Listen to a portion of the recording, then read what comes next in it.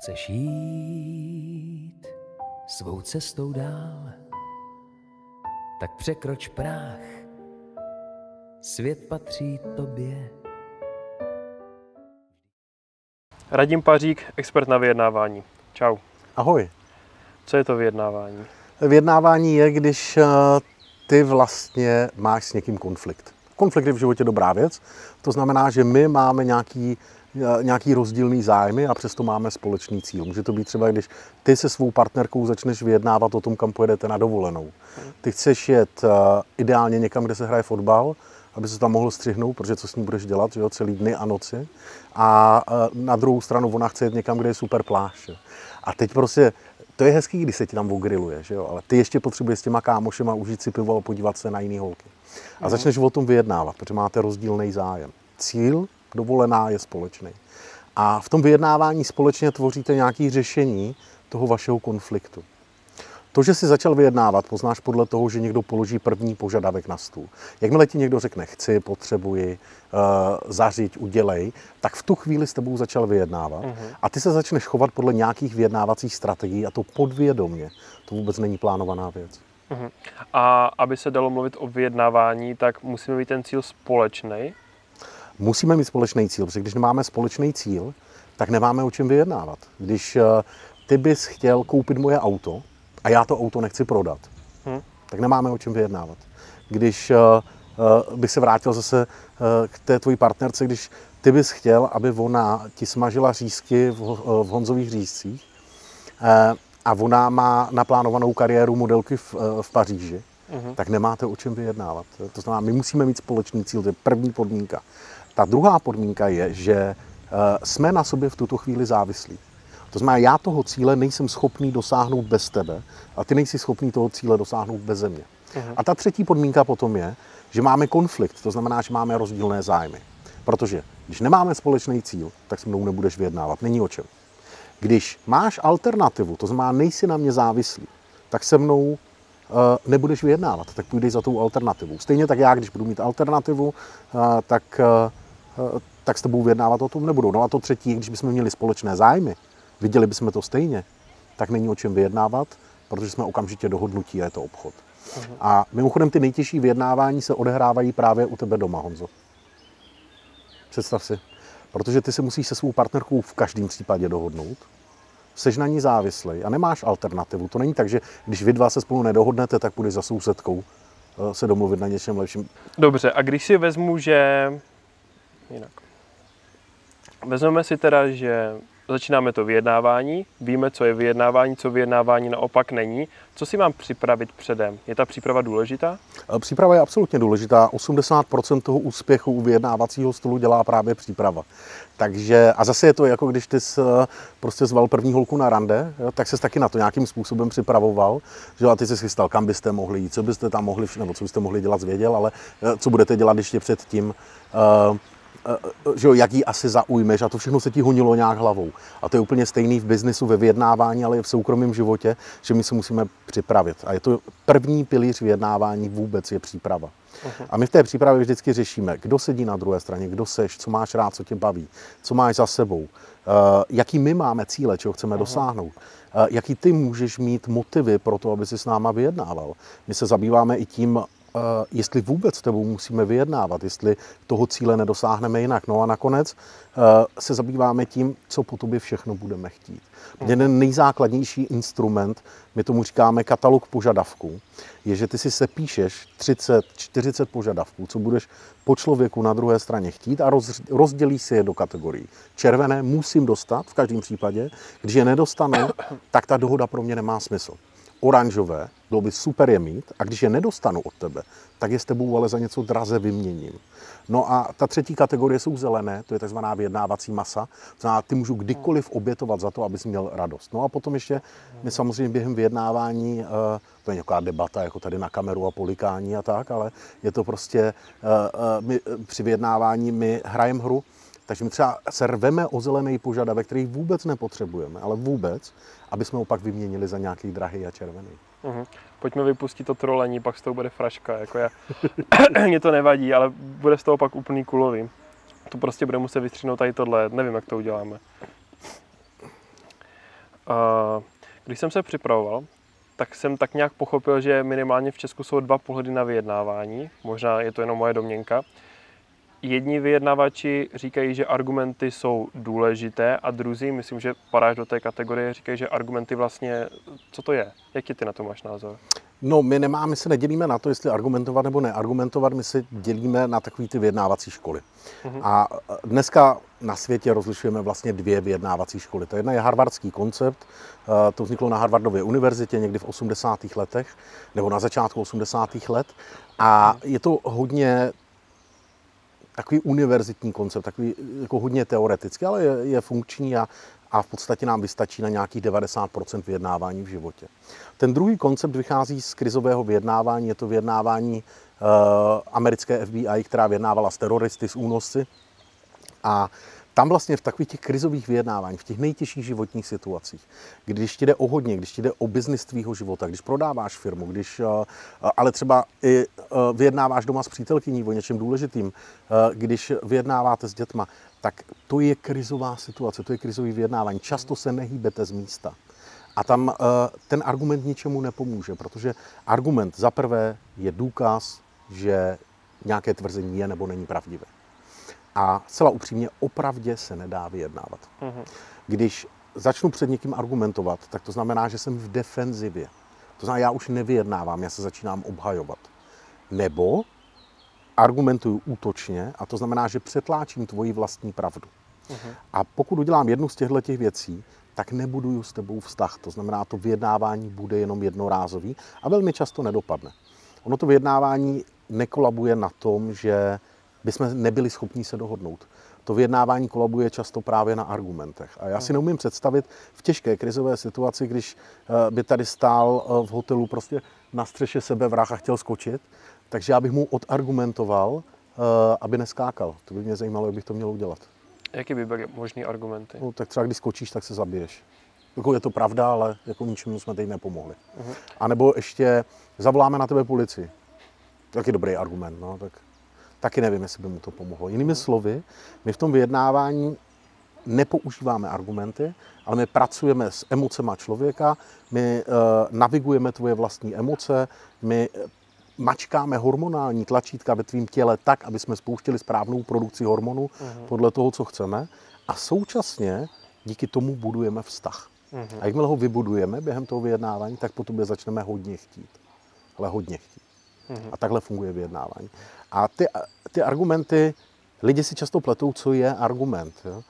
A když někomu něco vysvětlím, tak to není argument. To je jenom proto, aby mě pochopil. To s argumentováním nemá nic společného.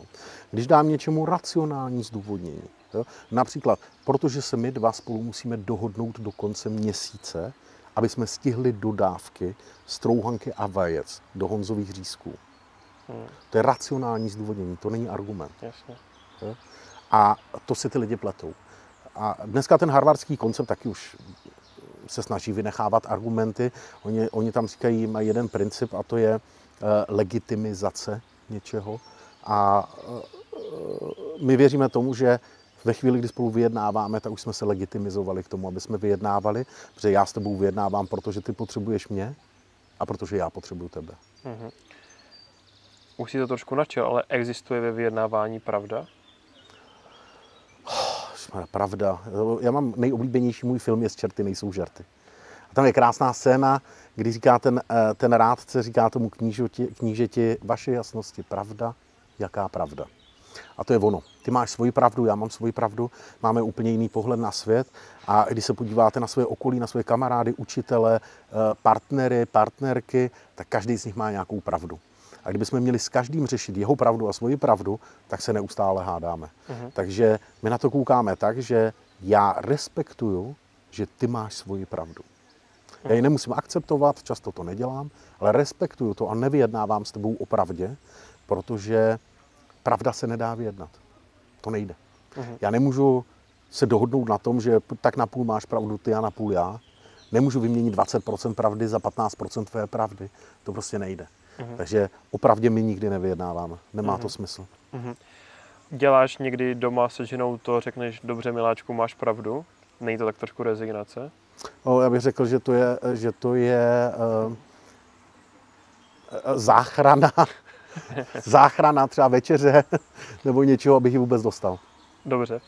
A existuje ve vyjednávání možnost kompromisu? Existuje. Existuje, kompromis je legitimní strategie, je to jedna z pěti strategií. Eh, my na to koukáme tak, že kompromis, eh, pokud přichází brzy, nebo a on vždycky přichází brzy vlastně, tak je to jenom oslava lenosti a je to nechuť vyjednávat, nebo strach, nebo neschopnost, nekompetence. Eh, když jsou ty dlouhé vyjednávání, někdy se vyjednávat měsíce, roky třeba, a výsledek na konci bolestný kompromis, protože to je jediný možný řešení, tak se to může stát. Ale je to pro nás to nejposlednější hmm. řešení, který může nastat, protože kompromis znamená, že dostaneš půlku toho, co chceš, a mhm. půlku toho, co nechceš. Když zůstaneme u těch uh, příkladů z domácnosti, tak řekněme, že chci jít do divadla s přítelkyní, už se domluvíme teda, kam půjdeme, v kolik tam půjdeme, hlavně na co půjdeme. A já si chci vzít hnědý boty. Možná to je společensky špatně, ale pro tady tento příklad myslím, že to je vhodný. Koupil jsem si nový hnědý pásek, vezmu si k tomu hnědý boty. A ona říká, ne, prostě se to nehodí, vezmi si černý boty a černý pásek. Já bez skříní mám, mám je připravený, ale chci si vzít hnědý boty. Kompromis by byl vzít si jednu hnědou, jednu černou. Je to nesmysl, ale dá se to použít jako příklad? Je to příklad kompromisu, tohle to uvádí jeden z nejví, nejslavnějších vyjednávačů světa, Chris Voss, pokud jste nečetli jeho knihu uh, Nikdy nedělej kompromis, tak to si určitě přečtěte nebo poslechněte a on tenhle ten příklad uvádí, abych asi jako v první řadě řekl, že bych doporučil tvé přítelkyni, ať zváží vztah s tebou, jo? protože hnědý boty prostě do divadla nevím, si moc googlíš nebo co. Jasně. A uh, ten kompromis je vlastně, že, dosta, že máš něco, co chtěl, něco, co jsi nechtěl. Je, je to přibližně půl na půl a uh, těch příkladů je spousta. Když jsme řekli, tady by držel terorista malou holčičku, držel by jí nůž na krku a tak bychom mu řekli, hele, tak pojďme udělat kompromis, neuřízní jí hlavu, uřízní jí jenom v obě uši. Hmm. Jo, to, to by byl kompromis. Uh, kompromis může být, že uh, ty chceš řízek a, tvoje přítelkyně chce krupicovou kaši. Uh, no a ty si dáš půlku řízku a půlku krupicové kaše. Hmm. To je kompromis. A kompromis je, že ty se vrátíš tady z tohohle tábora, hrozně se na sebe těšíte, ty se na ní těšíš ještě o něco víc a ona nechce. Hmm. Ty s ní začneš o tom vyjednávat je? a dohodnete se na kompromisu. A teď si představ ten svůj kompromis, co by to asi bylo. Jasně. A, že jo, a ona začne a v půlce přestane. To je kompromis. Uh-huh. Jo, každý má půlku toho, co chtěl a půlku, co nechtěl. Uh-huh. Mě zajímalo, jak byste byli spokojeni. Jo, takže kompromis vede k absolutní nespokojenosti na obou stranách. Ale někdy je to bohužel výsledek velmi těžkých vyjednávání. Uh-huh. A používá se ve vyjednávání i ten termín konsenzus?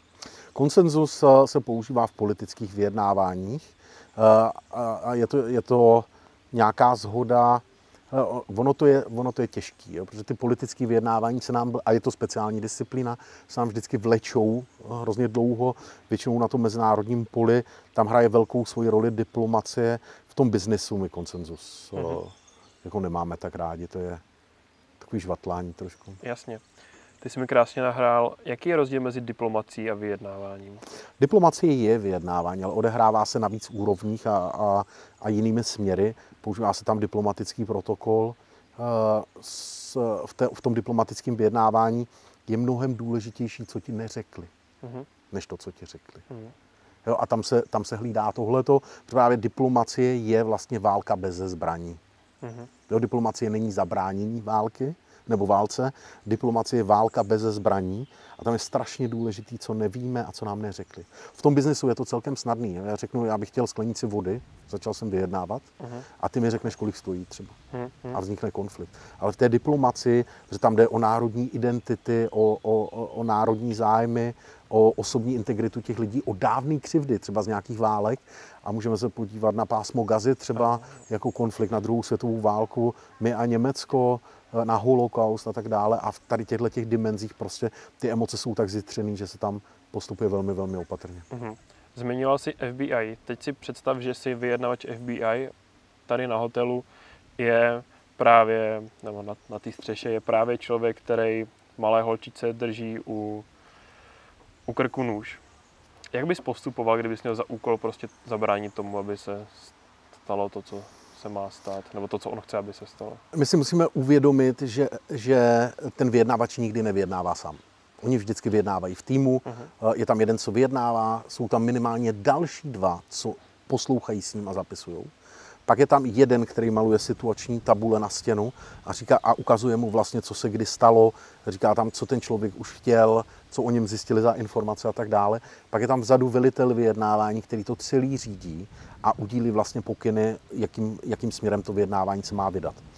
A když někdo drží nůž na krku malé holčičky a e, ještě ji nepodří, což jako asi ta, z těch hrozných alternativ ta nejlepší pořád ještě, tak e, to znamená, že on něco chce.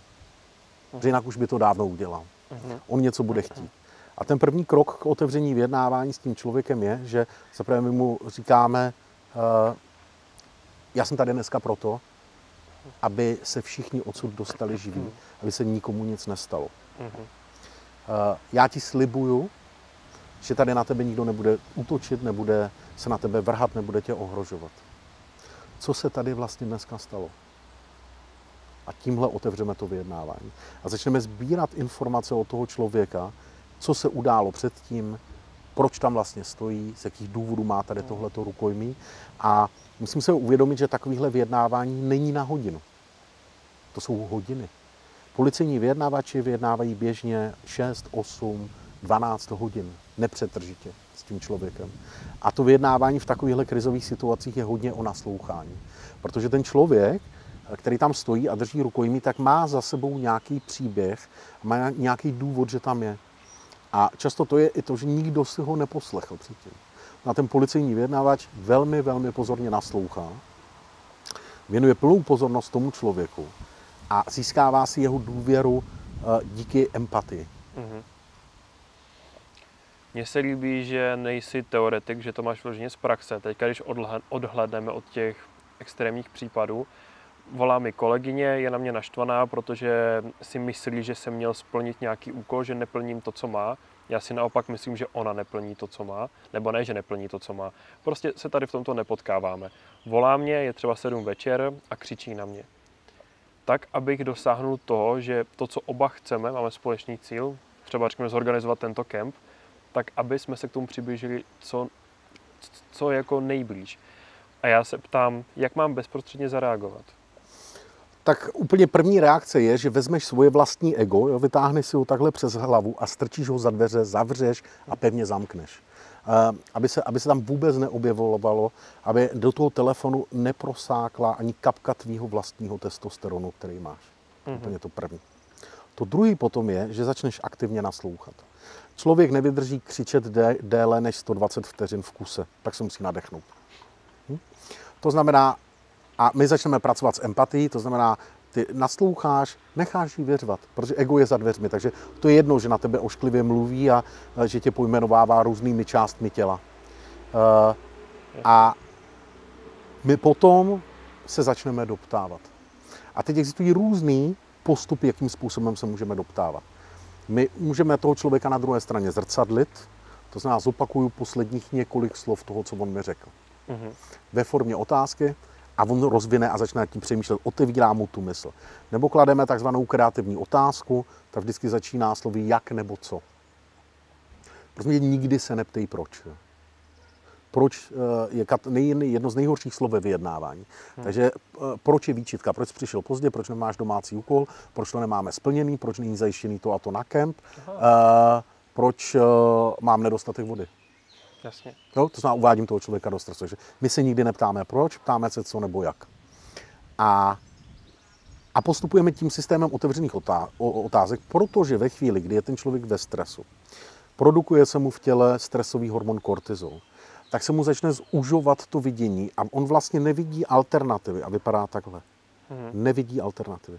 A tím, že já mu dokazuju, že mu věnuju 100% pozornost, protože opakuju jeho slova, zhrnuju ho, parafrázuju ho, doptávám se, tak opadne ten stres a jemu se zase rozšíří to vidění a začne vidět alternativy, se kterými můžeme pracovat. Když je člověk zablokovaný, když je ve stresu, když křičí, mm, tak se s ním vlastně nedá vyjednávat. Mimochodem, velmi důležitá věc, a to si fakt zapamatujte, Když eh, vám někdo vyhrožuje, tak vás potřebuje. Hm. A když vám vyhrožuje po druhé, tak vás potřebuje na 100%. Jenom nemá alternativu, nevidí řešení, nevidí možnosti. A tohle je takový ten poslední zase, když to zase převedl na, na ten partnerský život. Mm-hmm. Honzo, ještě jednou tohle to uděláš, ještě jednou půjdeš za Maruškou vedle a já tě opustím. Jasně. Jo, to je vyhrožování, to je nějaký ultimát. Ona nemá alternativu. už. Ona nemá totiž alternativu. Eh, A neví, co s tím. A s- když lidi začnou křičet, tak eh, oni se vyřvou, ta emoce opadne a jim je to hloupý. Hm. Jim je to fakt hloupý. A to i když těm největším cholerikům, jestli máte ve svém okolí choleriky, tak oni začnou řvát, začnou dělat eh, bordel, pak jim to blbý a oni se začnou tak divně omlouvat nějak. Jako. Hm? To je vždycky ten pokus. A takže my vlastně v tom vyjednávání, když na nás někdo křičí, my se k tomu nikdy nevracíme. Ani neříkáme větu typu, no konečně se uklidnil. Pojďme se na to teď podívat jako dva dospělí. to odjistíš druhou bombu zase. Jasně, no. Eh, takže tohle to taky neříkáme, eh, anebo no, tak jsem rád, že jste se vykřičel, teď se na to můžeme podívat logicky, jo? zase konec, ukončili bychom vyjednávání, protože když někomu řeknu, podívejme se na to logicky, tak to znamená, že předtím se na to díval jako blbec. Jasně. A takže my se k tomu nikdy nevracíme, vůbec to nekomentujeme. Naopak toho člověka velmi často za to pochválíme. Za ona zavolá, řve, si poslechnu a první věta, kterou řeknu, jak se jmenuje? Uh, Karla třeba. Karla. Tak první Karla, jo? To je nějaký fiktivní jméno. Ne, ne, to- ne, tak jak se jmenuje doopravdy. To nebyl konkrétní příklad. Jo, takhle. Karla. Ne, fakt? Uh, tak první větu, kterou jí řeknu, je Karlo, děkuju, že do toho jdeš takhle naplno celým srdcem a že oba dva víme, co je potřeba řešit. Hm. A normálně ji pochválím za to. Mně se líbí tady ty modelové situace. Mám tady ještě poslední, což je z praxe, jenom změním název firmy. Google přichází na evropský trh před x rokama a dostává u nějaké evropské komise pokutu 10 miliard za to, že na evropském území porušuje nějaká práva, GDPR. Je to trošku přenesené, ale vem- veme si, že to takto je. Nastupuje vyjednávač za Evropu a za Google a teďka se spolu baví o tom, aby ta pokuta třeba nebyla 10 miliard, ale jenom 1 miliarda. Je toto ta situace velké firmy a nějakého společenství té Evropské unie přesně ten příklad, kdy obě dvě ty strany by tam neměly chodit ti šéfové, ale vyjednavači? Ale to je přesně ten případ, ale můžou to být i menší věci.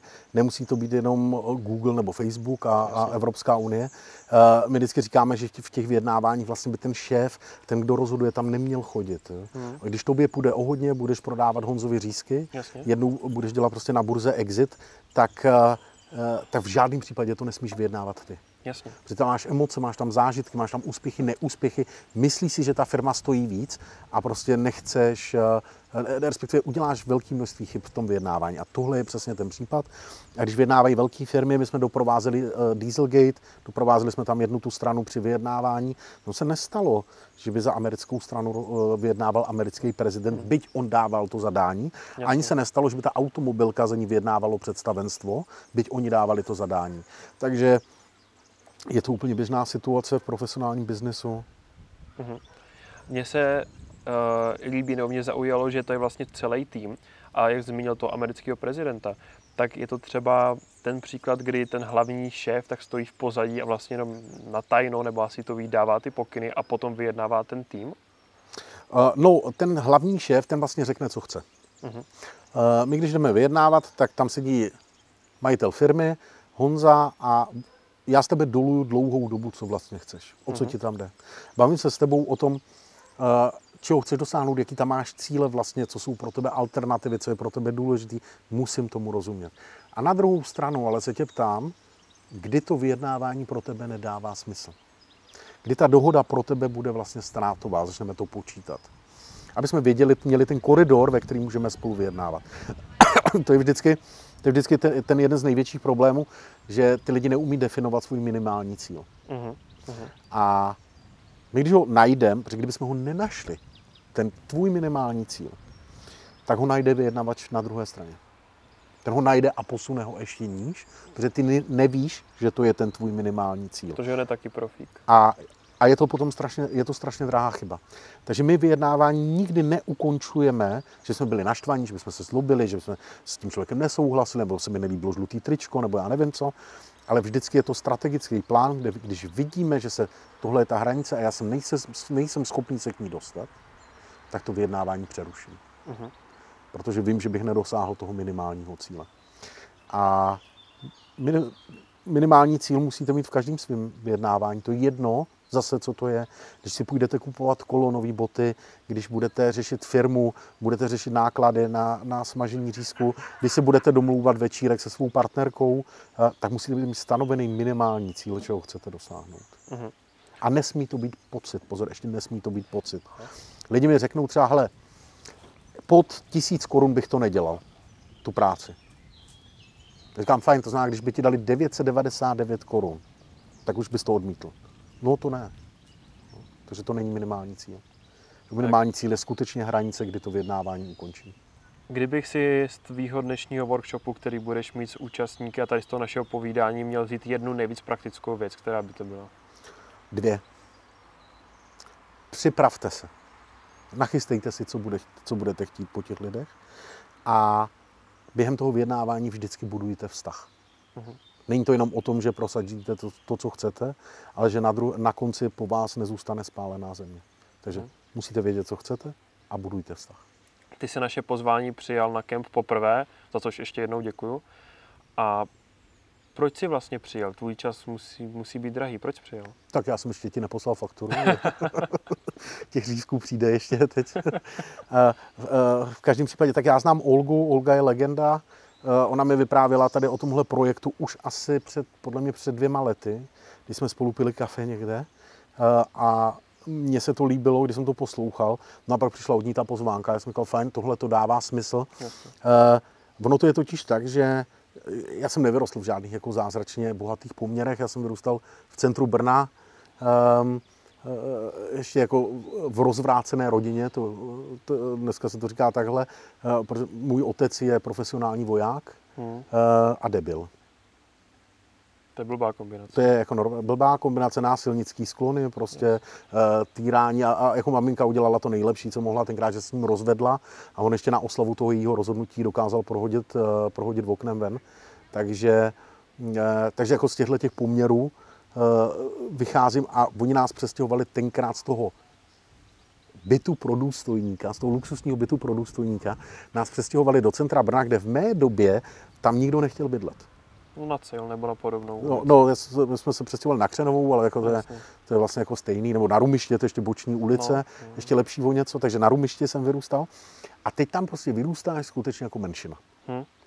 Takže eh, všichni vlastně eh, eh, takoví ti vzrostlí Romové dneska, kteří tu a tam ovládají nějaký biznis po Brně, jsou mý mý spolužáci z základní školy, mý kamarádi, máme do dneška výborný vztahy um, a já pomáhám jejich dětem, protože oni prostě vyrůstají tak jako v prostředí, který není závidění hodný a to, že nemáme všichni stejnou šanci, já úplně nesnáším tenhle ten individualismus. Jakože každý se musí postarat sám o sebe a všichni máme stejnou šanci. Hmm. Nemáme. My se třeba, já jsem tlumočník do znakového jazyka. Mhm.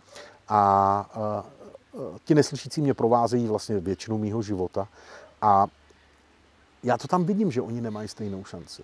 Já vidím, že oni nemůžou telefonovat, nemůžou si spoustu věcí zjistit, nemůžou koukat na zprávy, spolíhají na to, že ty titulky tam jsou správně. Ty, těm titulkům ještě nerozumí. A já jsem třeba minulý týden jsem byl uh, tlumočit na očkování, kde byli neslyšící, protože tomu jako úplně neuvěříš. Tam sedí doktorka, má roušku, přijdou tam neslyšící se sebou očkovat a ona vzdělaná lékařka si myslí, že když na ně bude řvát přes roušku, takže ji uslyší.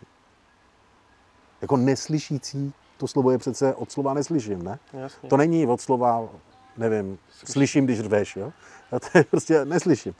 A mně to přijde tohle jako úplně neuvěřitelné. A pak ten poslední projekt, který my děláme, eh, tak to je, že eh, my spolupracujeme i s nevidomýma.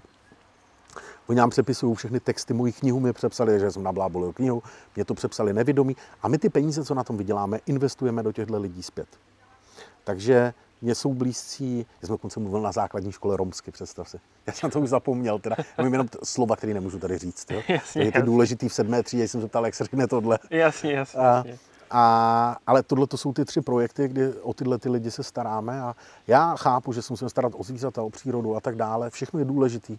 Eh, ale prostě, když my podchytíme, když my podchytíme ty děti, které nemají eh, to štěstí, jako jsem měl třeba já, eh, a oni se ně, něco naučí nebo něco dozví, nebo minimálně řeknou, ale tak dopadnout jako radím fakt nechci, se mi vůbec nelíbí. Hmm. Uh, tak aspoň to vědí.